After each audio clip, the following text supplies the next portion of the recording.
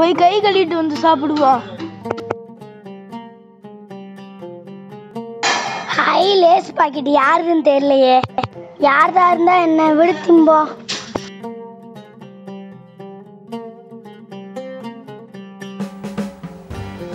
ஐயோ இவன் வேற ஓடுறானே.